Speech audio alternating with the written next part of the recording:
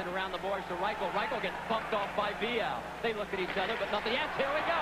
It's Rychel and Vial on the left side, face-off circle. There they go. We need Al Bernstein. Rychel saying, give me your best shot. Vial says, okay, here we go. It looks like it's going to be right cross competition. Well, they both have a pretty good grip of the sweater. Until you can get your arm loose, you can't get a lot of mustard behind your shot. Now, of course, Rychel leads the NHL 30 majors in 92-93.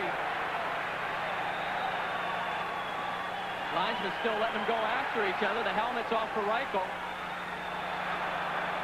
Well, I think the longer you let them go, you won't have to worry about breaking up a fight with these two guys in it anymore tonight because they aren't going to have anything left.